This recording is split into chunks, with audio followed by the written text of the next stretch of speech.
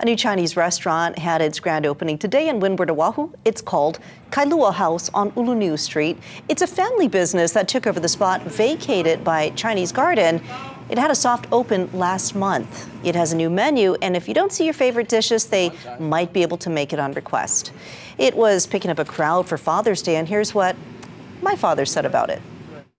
Food is great. You get a lot for your money, and the cuttings are very solid. They're big. Vegetables look like a vegetable, and the meat looks like a meat.